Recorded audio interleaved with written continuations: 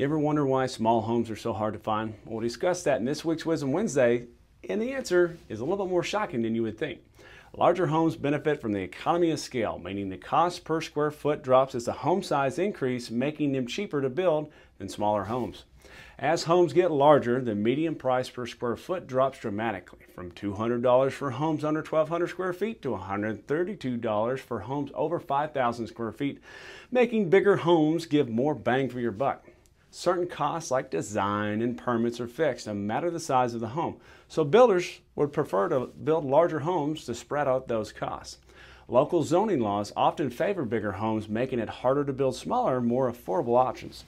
First time homebuyers, this trend makes affordable starter homes harder to find. With fewer homes on the market, buyers are forced to consider larger, more expensive options. Send this video to someone looking to start their home buying journey, and thank you so much for tuning in for this week's Wisdom Wednesdays Withers. Tune in next time.